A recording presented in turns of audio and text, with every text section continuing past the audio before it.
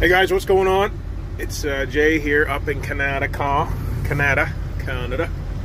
Um, I told somebody here I'd, uh, I'd post a video of the new KFI plow I got for my my uh, Can-Am Defender. Um, I think they all mount the same from right up from 16 to 22 maybe. Uh, double check that because I'm not 100% sure, but mine's a 20. Um, this plow is pretty straightforward to mount. Basically bolts on. Uh, I'm going to show you the plow once I get the door open here in the shed and we'll go from there. Alright, so this is the KFI 72 inch plow. It's pretty decent plow. I had a, I had one of the uh, Can-Am plows. They bolt on a little different underneath the machine. They go kind of in under the frame. This one here kind of bolts to the front but this here plow is pretty solid. It's pretty, it's,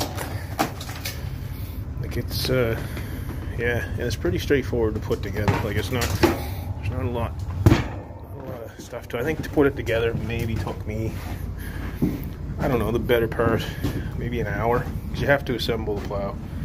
I bought these separate. These didn't come with it. These are just so I could see because I got a Can-Am Defender for what you can see of it, and I. Uh,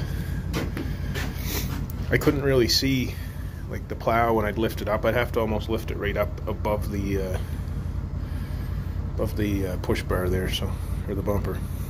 But um, so I bought these just so I could see where I was going, so I wasn't smoking the plow off anything and ruining it. The plow cost me around.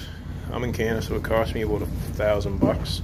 I think it was like eleven hundred bucks with the taxes and everything. So my machine has a lift in it. Um, it's got a two, think it's a two inch spacer lift. Uh, the plow works pretty good when um, it's straight like this, but when you angle it, you can buy a drop bracket for this plow. So when you angle the plow, it kind of lifts whatever way you're angled. Say if you're turning this angle, eh, this this part in, um, it'll lift when you put the plow down. That corner will be off the ground.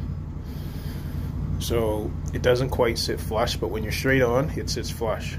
Now, for lifted machines, they sell a drop bracket. It all depends. KFI sells them, and it goes by whatever size lift you have in your machine. So say you have a two-inch lift, you buy the two-inch drop bracket, and uh, that'll bring it level.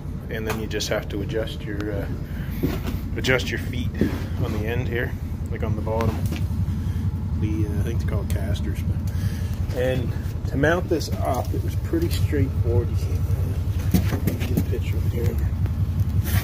It's pretty straightforward. It's just a, it's literally a plate, and it's got four bolts in it. It's got six actually. Two on the outside there, these two. I drilled those um, just for extra support. And to mount this thing up, it's pretty slick. Like you just pull these pins out of it, you line it up with these, and you put the, uh, there's two on each side. And you just push it through and then you hook your winch to this thing. And you can put your winch to wherever you want on this. You can, uh, you can move this bracket up, like up if you want your winch, whatever, depends on the machine you got, whatever angle you want to have your, uh, your winch cable at.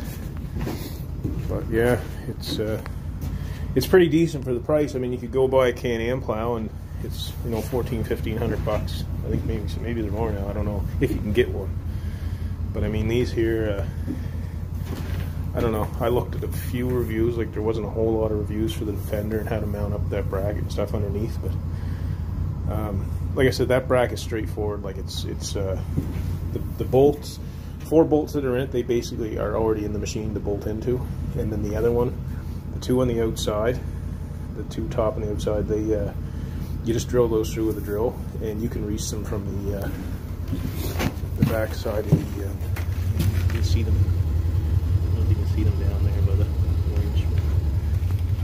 But yeah. So uh, yeah, guys, that's it. I, my cable, my winch cable broke.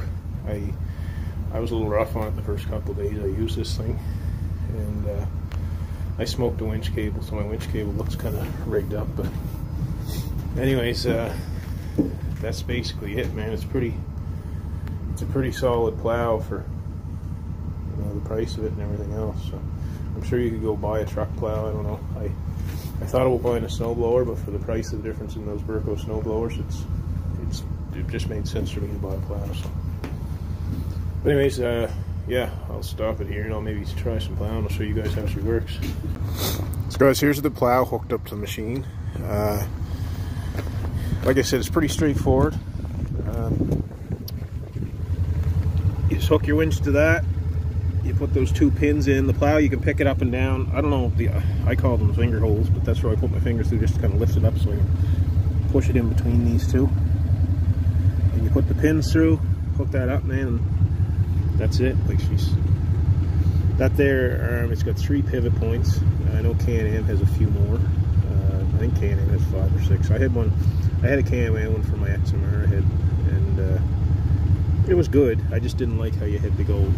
The plate had to be so far in underneath your frame, and uh, it, just it was a lot of work to take it off and on. This one here, you can leave it on. You can leave the Can-Am one on too, but the Can-Am one had arms, like little pivot, like uh,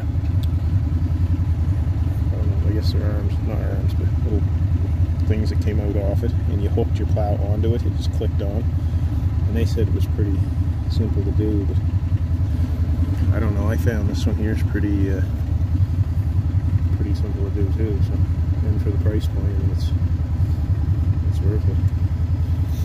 But yeah um, I just found those alarms that came off the Can-Am when they would uh, if you hit them like say you're out in the summer or something like that and you're four-wheel and you hit them on a rock it would bend them and you have to go buy a brand new plate. Whereas this one here I don't think you can hit this off anything. I guess you could but I don't know what you'd really bend. Uh, yeah, so I already did a pass with this once.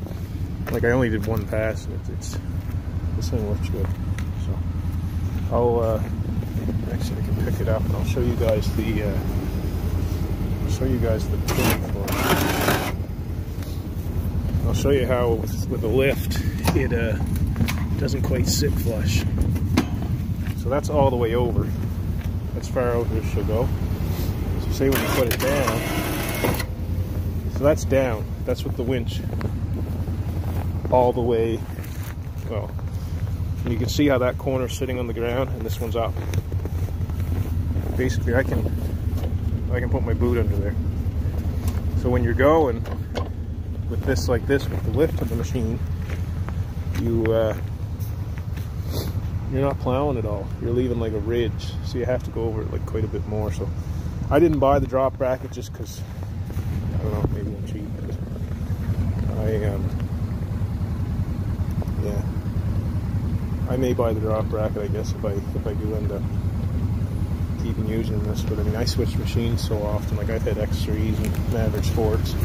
I probably should have do reviews on everything, but I uh, I didn't. So, but anyways that's it.